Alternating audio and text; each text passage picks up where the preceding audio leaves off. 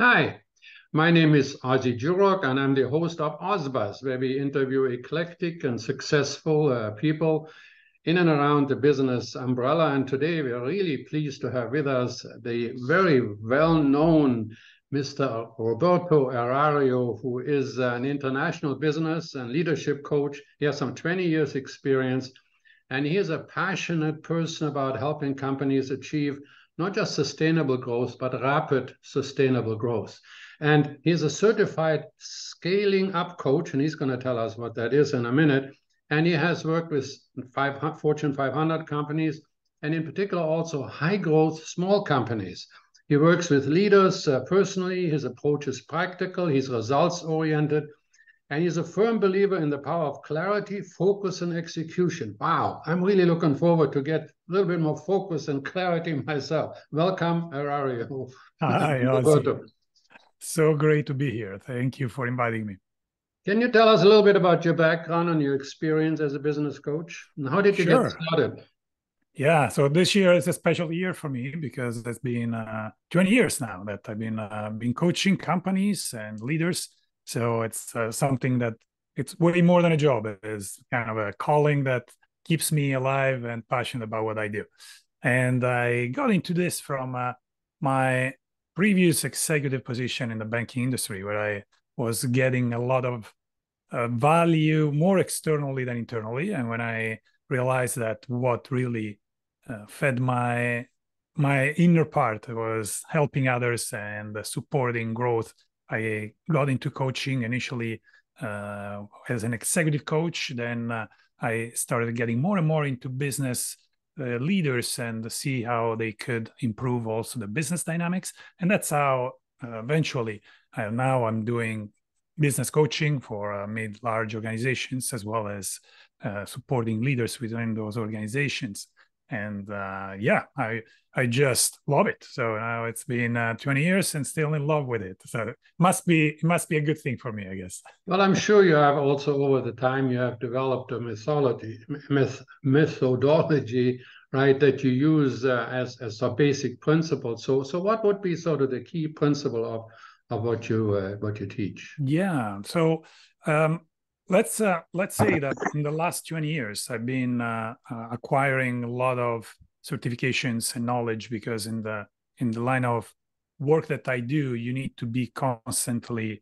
up to date up to date with best practices but also up to date with uh, what is working in a different dynamic right? Yeah. i mean right now we have ai we have uh, pricing that becomes really relevant in a market considering inflation and everything that is going on right now so within all of that, um, I um, I specialized in uh, one methodology that over the others I use the most. That is scaling up, and scaling up is an interesting methodology because it's a it's a real platform in a sense. Like you can uh, plug in different uh, thought leadership uh, models, so you can uh, plug in leadership components or uh, pricing components. But the framework of scaling up is identifying four main areas to support companies' growth people, strategy, execution, and cash. So ultimately, what you need to do is, in a nutshell, you want to make sure that there is a culture of happiness and accountability when it comes to people. So you get the right people on the bus. You look at strategy and say, how are we differentiating ourselves? How mm-hmm. are we positioning ourselves in the market in the eyes of the customer, but also internally, where everybody understands what we're trying to do. Then the third component is execution, where if you want to be profitable and efficient in the processes that you run, you need to have a proper execution. That means you can have the best, brilliant strategy in the world if you don't execute it properly. And I know that this is this is you, you you've been saying this for so many years. I've known you for I think 12 years now. And since the first day when I heard you speaking, that was all right. It's all about action, action, action. Right? You don't take the right action. And within a company, that action becomes quite complex because there are many people involved. But you want to make sure that those actions, so processes, are efficient and profitable and repeatable so that actually people know how to run those processes and you can make money every time you run a process rather than wasting money. And yeah. then the last component, so we, look, we looked at people, strategy, execution. The last one is cash. Every business should ideally have a business model that generates enough cash to support growth, yeah. ideally. Right? But sometimes you need also cash from the outside. You need investors, you need bank because your growth is too fast, and growth obviously sucks cash, and you need external. But the idea is how can you build a company that actually, and I have a specific example here that I think everybody could relate. Um, a company that I've been working with where their margin were about 25%, and they are in construction. So uh, probably your audience will relate to, to this client. And um, and they were kind of stalling in terms of growth. We started working together. We did major intervention on the people side and on the alignment side. They ended up the following year doubling the revenue, but increasing their margin to 32.8%. So it's like in construction, obviously, it's it's a big number. It's uh, it's not something that you discount when a company is in that field. It's not like having a SaaS company where software can be scaled very easily and uh, and efficiently. Here is more like it's people working and building stuff. So uh, for them to produce their result was very very relevant. So these four are pretty much the the essence. And as I said, multiple plugins within this. Now, this this company you're talking about, I guess you can't tell us who it was, but uh, did you uh, you you feel that the growth that came to that uh, and the success was entirely through the scaling up framework that you that you put in? Yeah. So how long does that take you? I mean, do you you go inside the company, you meet with people, but is there sort of a timetable that you have, or it depends mm. on the company? It depends on the company, the level of maturity, and what they need. And again, scaling up is a fantastic framework, as I said, like in terms of being an open platform, right? So I will lean more towards my experience, for example, in leadership coaching, if I see that the CEO needs more support because maybe they have very strong processes. Mm-hmm. So it's not like a cookie cutter type of thing where you come in, you follow a consulting instruction or a consulting manual and then you say okay here you go it's yeah. a, very customized it's almost like when you go and you get a, a tailor-made suit right? you, you, go there uh, the, the, the, tailor knows how to cut yeah. depending on what you need but then uh, uh, you you kind of need to do the work internally yeah. and the, the timeline change yeah sorry go ahead no that's very important i was once uh, in, in bc we have a number of initiatives that I that have originally come either through universities or I used to be a mentor uh, for uh, students uh, at UBC, and I'd get one one guy and or one gal, and then we have a one-on-one. But once in a while, you also get lent out to a company, and I, I'll never forget that years ago. I was an outsider on purpose sent to the middle management group. There was 22 managers there. And I noticed right away, you know, I'm, I'm a people person, but I noticed everyone really into this. You know, this was a new initiative. It was uh, supposed to be, you know, the cat's meow. Everybody was doing it. And I finally said, look, guys and girls, I mean, I, I have no skin in the game. You know, I, I'm here. I'm, I can bounce things off. We have a successful organization. We have some ideas. But I said, look, as he says, our CEO always goes to some course and then he comes back with all these new ideas. And then he tells us about it, tells us to do it, and he goes away and gets some more ideas while we still, you know. So it's I guess it's very important to yeah. spend that time with the CEO because if he's not on site, yeah. if he doesn't show by example or yes. pushing or checking into it, then it doesn't get done. Yes. And uh, this is one of the things that I I also had to learn on my own uh, skin, right? When I started, I was working only with the senior leaders on the executive coaching side. And when you work for an executive, you want to improve their ability to lead, but you don't work necessarily with the entire team. Now I work only with the entire team. So the CEO must be on board, but then the team needs to be involved in the process because that's ultimately how you can create a ripple effect across the entire company. And uh, and I usually, before I just answer your question, the timeline, uh, usually when I start working, I do two, three days of uh, strategic planning just to get where they are and what are the areas that they need to work on. Uh, we do some assessments before or do some one-on-ones interviews, kind of get the feeling and the connection about what what is the company uh, challenge, constraints, opportunities right there from my perspective. and also from their perspective. Then we start working, and every month we meet, like uh, three hours, depending on uh, on the size of the company. Ideally, it's kind of a three hour every every month, and then every quarter we kind of review the last 90 days for a full day. We review the last 90 days, we plan the next 90 days, we go deeper into some part of the strategy, and then we rinse and repeat. Like they are in constant progress. Within one or two quarters, they get really uh, accelerate. They get more aligned around what's really important, and the growth accelerates dramatically. Within one year, they they just see things going through the sky. Now, does it always happen? Of course, it's people dependent, right? It is. It's nothing magical behind this. There is people that want to do the work. They get frustrated when uh, they can't see the results. Most of the times, because before I start working with a company, I really want to make sure that there is a good fit. It's almost a relationship, right? I mean, you, sure. you can't uh, build a friendship with somebody or uh, go on a trip with somebody that doesn't share the same uh, approach. And once I start working, m- more often than not, what happens is like very capable people, great leaders, they get in the same room, they are frustrated because something is off either their yeah. communication or they don't get heard or they they cannot figure out what's important or they so the moment i support that part of communication alignment strategy questions that points them in the right direction then it's literally like having an nba team that you you, you yeah. just tell them how to play together it's not that you need to explain how to play the game yeah. They, they just need they to know how to play the game, but together is important. Yes. I think the other thing is the constant uh, meeting.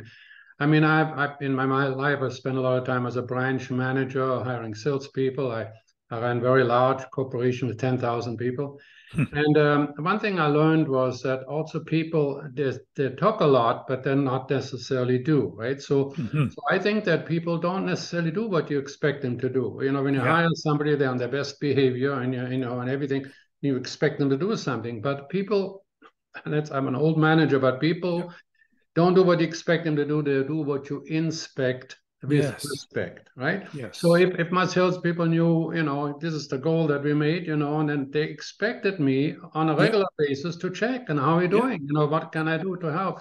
And that is that togetherness that an outsider brings yes. to a company because a lot of them are common challenges among all companies, right? It's the communication skills, yeah. it's maybe the leadership, something is missing but they all in the end want to work together. Yes. They're all success oriented, right? If the company is not successful, I'm not successful. So that's why that's somebody right. like you is, is very, very important.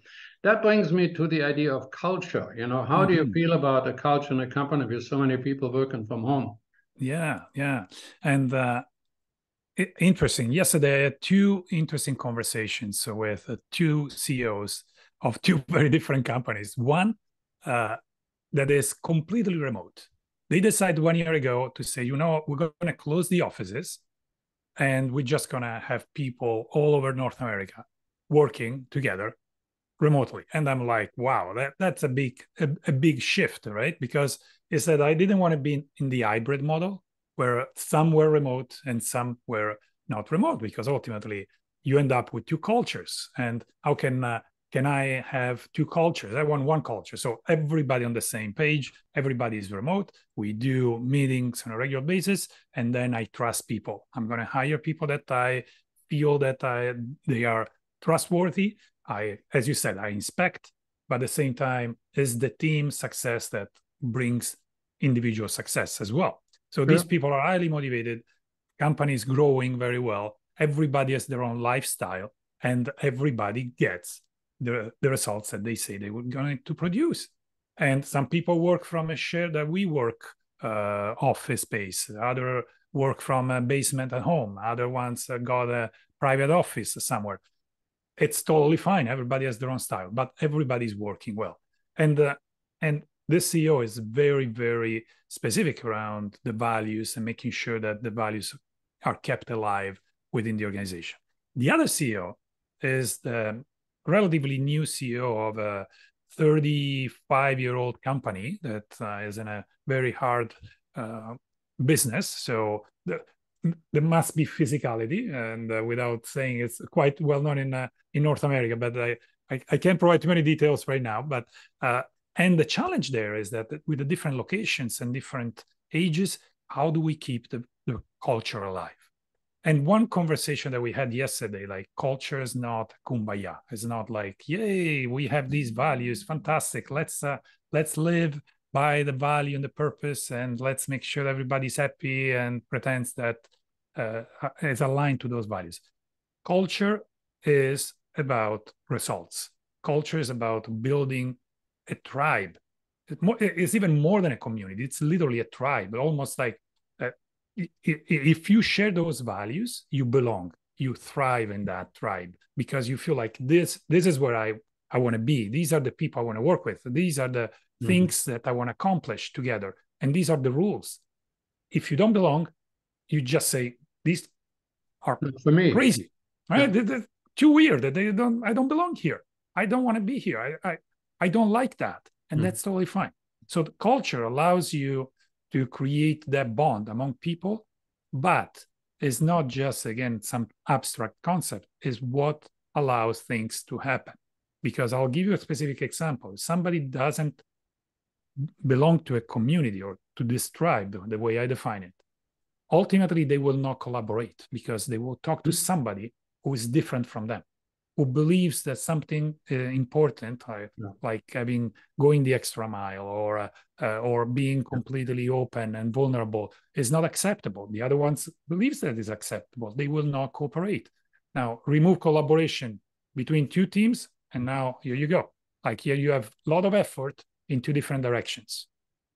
And that's what ultimately we want to create. So culture is literally the, the foundation of strategy, is the foundation of execution, is the foundation of cash management. Without that, everything else becomes very loose. Can you make a successful successful company without that culture? You can, but you're leaving a lot of money on the table and it takes a lot of effort to compensate for the lack of alignment. Yeah, and that's and that that is very true. I mean, I, I became president of a company that really had just merged the, the number one in its field with the number two in its field, and each company brought with it their own values and cultures and whatnots. Mm. And and it, it uh, the only reason that I got the, the presidency was that in my area, I was able to merge it easily. And in Quebec, for instance, we had mass walkouts, right? Mm-hmm. And it always came back to, you know, who are we? What are we standing for? And so we rebuilt everything. I mean, I literally ran through the branches and threw away everything that was had a name from the old company on it, whichever it was. If there was anything good, let's redo it under the new company name. But you know, but get everybody together. Yeah. But I found, and that's probably what make it difficult for me today, at head office we had 3,000 people, and we designed the coffee stations, we designed a little coffee shop, we designed uh, places where people would meet. Now, yes. we had, as, as you pointed out, the new world was in everybody's mind because we really went to emphasize the new structure, the new name, the new, the ethical structure, all of the wonderful things that we felt we were and we reinforced this uh, continuously. But I felt it helped. They were all in the office, right? So yes. for me to now be in charge, I, I, I want them back, right? It's it's like it's I want to knock them on the shoulder and say, "No, how things going?" You know, I mean, if as a as a working CEO, so it's it's to be able to be totally um, separate. Where does the inspection come in? How do you how do yeah. you handle that? Okay, that's uh, that's obviously you point a very challenging element right now because many companies are struggling with that. Like, how do I how do I create that connection? And a couple of elements come to mind. One is that the inspection comes from uh, sharing the priorities across the entire team, leadership team, obviously, not necessarily the entire company, mm-hmm. possibly also the entire company.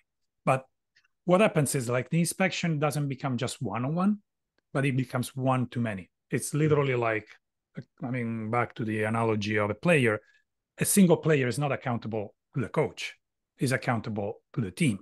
Oh, yes. Right. Yeah. So if I come in and I say, uh, okay, these are the top five things that I want to get accomplished in the next 90 days. Yeah. And I talk to the team like it happened two days ago. I was with uh, with a company, we did the, the, the quarterly planning, and uh, each team member shared what they were going to accomplish after we decided what the company wanted to accomplish. And sure enough, when uh, each individual said, I'm going to do these five things, there were other people from the leadership team asking, Are you sure? I mean, I need your help with that. Or can I help you with the other project? So there is now a moment of cohesion because it's not anymore my silos. It's not just anymore what I'm going to do, right. but it's more like how I am contributing to the success of the team and the company. So everybody now knows what everybody else is doing. And every week, they're going to review those five things. Are you progressing? Are you green? Are you yellow? Do you something is going on? Are you red? Something got blocked, yeah. stopped that you need to change. How can we support? Because if you fail, the team is failing. Yeah. And so it's really communication continued. It's maybe not a copy station. Maybe it's a Zoom meeting That's every right. second day by the CEO, or maybe it's somewhere. But yeah. people need to still have that sense of belonging, I feel. They do. And, and and the inspection, I always make sure people don't do what you expect. You do what you inspect, but yes, respect. You're not with respect over yes. their shoulder and saying, "Hey, yes. what you're doing wrong or what." Now, with yeah. all of those things, that that is absolutely vital to have, in particular in this new world, to all of the challenges and the questions that people have, and we have people that are, you know, quitting more often than we did before. Uh, we have the crazy world. We have an uh, economy supposedly going to recession, but at the same time, yeah, in October 2023, we have full employment, and and uh, you know it's hard to keep people. I mean, what advice do you have for attracting and retaining top talent in a company? Yeah, and uh, and ultimately, that's what's going to make a success or not of the company, and the, the quality of the people that uh, you keep engaged. And just I want to tie this to what you were saying before in terms of inspection and uh, inspect with respect. I think that when people have full ownership about what they committed, mm-hmm. then they are also willing to execute on what they committed to achieving. Therefore, when there is full transparency, everybody can access a spreadsheet where I can see what your five priorities are. When I when you can see what my five priorities are, and every week we review that there mm. is a full transparency, full support, and I own those five things. So I don't even see your inspection or your questions as a micromanagement anymore, but as a way mm. for me to be kept accountable for my right. work. So right. if, and now coming back to the talent, if somebody doesn't have that trait, probably doesn't belong to a company that wants to produce results, right? There's somebody that's lacking off or yeah. and how do I attract those people? Because we know that getting an A player, if you want to call it that way, or a top performer in uh, in your space, can do the work of two, sometimes three people that are mediocre people. So it's really, really important, and that's why what I say is like, please let's switch. I, there, there is a label that I want to constantly switch when I work with companies from hiring to recruiting where mm-hmm. the difference i make between these two terms is like you hire somebody when uh, a position is vacant or when there is a need because somebody just dropped, uh, uh, stopped working for you, and now you need to replace, and the hire is very reactive. Recruitment, in terms of process, it's like marketing. Marketing never stops. Recruitment never stops. You don't find best clients by uh, oh my gosh, I need a client. Let me call, call, and tomorrow I'll find a client. You don't. You yeah. build your reputation, your brand, yeah. right? Same with with recruitment. If you build a, a, strong pipeline, if your brand as a company in the eyes of the employee, no, not in the eyes of the customer, recruitment is uh, making sure that the process is in place for the employee so that the employee appreciate your name because maybe you got some rewards or maybe because you're rating on Glassdoors maybe because you've been constantly creating new content or showing how you care about your people then those A players will be warm to be reached when you need help with growing your company. So that's that's one element. You kind of want to make sure that you are constantly present in their eyes. So through formal or informal communication that allows them to know what you're doing. The second part is that once they are in, now you need to treat them properly. How do mm-hmm. you treat an A player properly? sure enough, you want to make sure that you remove all the obstacles because usually top performers don't need to be said in a very specific manner what to do. They need to be freed up to do what yeah. they know how to do. And. Mm-hmm. more often than not, you remove their, op- their obstacles in front of them, yeah. the more successful they are. So that's one element. The other element is that you want to make sure that the reason why they joined you is actually something that they will find within the company. And that comes back to culture. Meaning, if you tolerate, say, a top performer in another area of your company that is disrupting your culture because they are great salespeople, but absolutely um, rude with other people. They are not collaborative. They put other people down and they are mm-hmm. toxic for the environment. Guess what the other A player are going to see? Like this CEO or this team or this company doesn't really care about culture. Absolutely. I'm going to go somewhere else because they have many, many options. So it comes down to these things build a brand that is solid, intentional, and directed towards employees, and build a culture that allows them to be to, to, to feel a sense of belonging and to be productive and to be accountable and to be praised and rewarded for the productivity that they bring to the table. But so if they don't, if they don't, you have to be strong enough to say goodbye. You know, ah, yes. and go go with God, but go. You know. yes. Yeah. yeah. Because if you don't do it, all the other top producers look around saying, "Look, he gets away or she gets away with this," and you know that wasn't really good for our customers, not good for my image, and all this. And then they start to doubt, right? And then the cancer spreads, right, in an mm-hmm. office. That's right. I remember That's once years and years ago, I took our very top producer, third best in the company. But in the office, and I, at that time was a regional manager, in the office I kept hearing she was she was constantly saying she was looking to go somewhere else, and then she was. So I took her for lunch, and and I, when we sat down, I said two things going to happen here. We're going to have a nice lunch, and then when you leave, you go to the office and you tell everybody you're staying and you like it, you like a manager, and then you know I will love you forever and all this. But on the other hand if you don't do that, then you quit. Go into the office, quit now. I'm going to sit here, get drunk, and cry to lose you. But that's the only options that are left. And when you're back and coming back, you're one of the top producers. Everybody loves what you do, but in these particular areas, you know, we just can't have you constantly saying you're going somewhere else. Now she stayed, and and um, uh, it worked really well for her because she got appreciation. At the same time, there was no doubt in her mind as to what my actions would be, right? Yeah. And I, I mean, I, I was very young. I didn't really know what I was doing, but it was one of the best things I ever did. Learn because mm-hmm. I realized I had an impact, right? And we can live without her. She is That's, not the total company.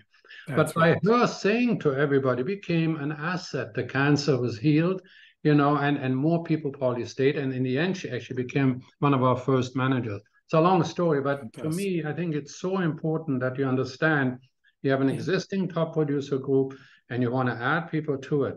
And top producers want to be among other top producers. That's right. And they are expecting some rules. You know, they want you to yes. show them how to make more money or whatever, right?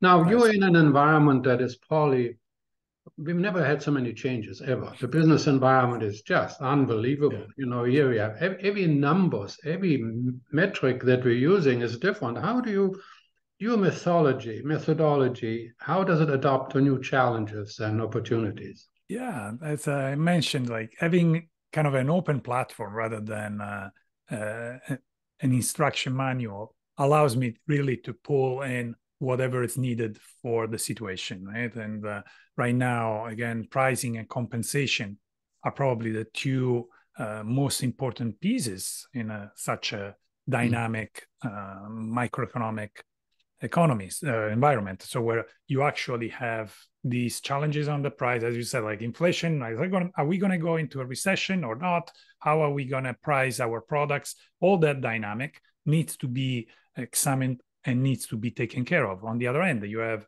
AI and uh, you have a, a lot of work that can be automated. How and and then you look at the people within the company. How do we manage compensation? Should we link the compensation to just a monetary component? Should we expand the scope of the compensation into uh, and expand it to multiple parts and pieces that today are very important, like uh, what are the elements that we need to have in order to attract talents? Because clearly talent and top players want to be paid. The market, maybe above the market, but it's not just by doubling the salaries that you're going to no. get the top talents, mm-hmm. right? So you want to make sure that all of that is taken into consideration. So for me, the adaptation comes from uh, monitoring what's going on and then uh, pull in my methodology, whatever is needed for that specific situation. And sometimes it's just, hey, the market is growing. We need to differentiate ourselves. So we need to double down on the strategy and positioning. Other times is the market is not growing. We need to increase efficiency. So let's make sure that the KPIs are proper to increase um, profitability and decrease cost and making sure that people can uh, rely on those processes. So it's a very, it's a constant evolution. Well, the other thing is, and I think it's important to have an outsider, a credited, credible outsider coming in. You know, if the middle management wants to achieve that, they take a do-it-yourself management book and how to restructure.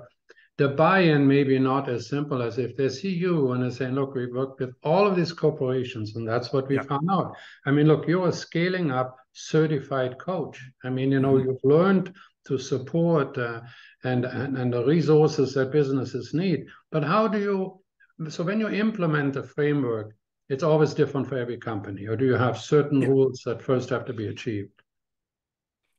Uh, you you wonder like how do I yeah. how I implement actually the, the framework yeah. within the company.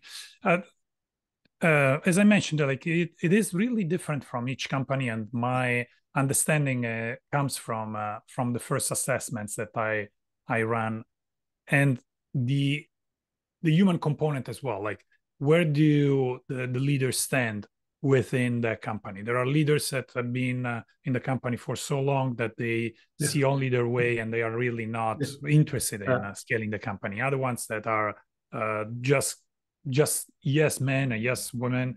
Uh, women just to say uh, I'm okay with whatever the CEO says as long as my job is not jeopardized. And then you have the ones instead of like, hey, I wanna, I have ambitions. I, I wanna, I wanna grow the company. I wanna get to the next level.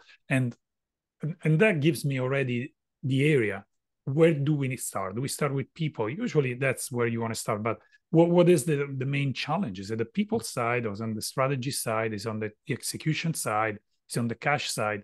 So once the assessment comes in and i interviewed all the leader, leaders then i propose a plan of action. Say okay let's start investigating this. Now i don't have all the solutions because obviously I'm I'm not coming in every company is different. Every company yes, sure. absolutely. But what I come in with is the ability to ask questions and to create a structure within which they find their own answers, and we are going to investigate where to find the answers. So for me, it's literally, and this what allows me to have a very wide range of sectors and uh, uh, companies in different sectors and industries, because ultimately is about how are you running your company, what type of questions are you asking? Where are you looking for the answers? How do you structure something that is reliable over time? So, uh, coming in, if I see that there is a cash problem, okay, the first session, the second session is going to be dedicated to fix that problem. Yeah. And it can be cash flow, or it can be maybe the business model that needs to be perfected. And then we can move to strategy. And then maybe it's an execution challenge.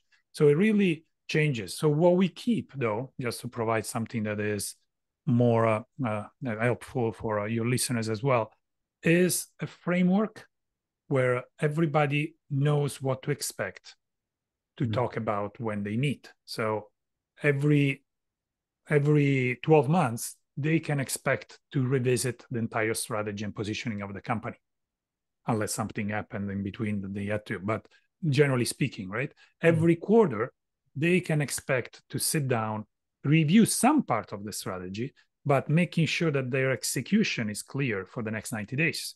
Mm-hmm. What are we going to accomplish? Because you can only accomplish things within a reach. You can't plan for a year and a half from now because mm-hmm. everything changes. So, but 90 days are relatively under your control. And that they can expect that. On a weekly basis, on a monthly basis, they sit down and mo- monitor progress towards those outcomes that they decided to achieve. And then on a weekly basis, they get together, they monitor quickly what's going on, but they also solve problems. And then on a daily basis, they kind of review briefly what uh, is going on in terms of just a quick update.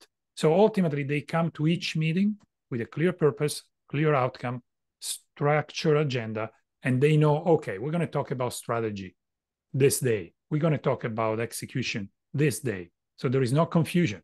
And you don't end up, you don't start a meeting talking about strategy, end up, who's going to send email to the client that wrote yesterday? Let's, yeah. because that's what creates confusion, right? That's uh, you want to make sure that this is taken care of.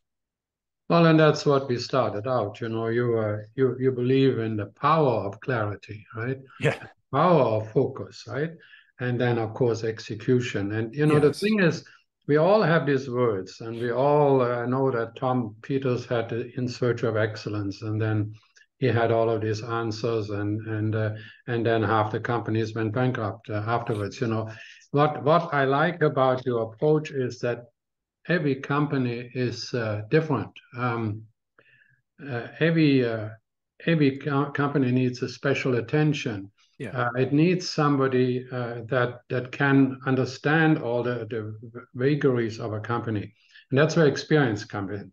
You've yes. been 20 years scaling up certified coach. So when they hire you, they, you bring with them that wealth of experience that you gained with with the whole gamut of companies that you that you have worked with. Now, for the listeners on the podcast, uh, on the podcast, we will have a contact information. We have a website, and uh, will you allow us to put your email there? Of course, yes. Yeah, and so that'll be there. And then certainly, if, if you're watching this on YouTube, all the information is is on the bottom. Do you have some final words for us, uh, Roberto? Um, I Yes, and the, the final words would be whatever you want to grow in your life, especially now. So let's talk about the business side. Just make sure that you do it with passion, that is aligned with your passion. Otherwise, you're gonna build a golden prison, and, and you don't want that. I love that. A life with passion. You know, I certainly am hundred percent behind yeah. I believe that. So thank you so much for taking thank the time. You. And um, and uh, all the listeners, I would urge you to go to uh, Roberto's website and be surprised with some of the super uh, specific information that you find there that'll help you. Thank you very much. Thank you, Ozzie.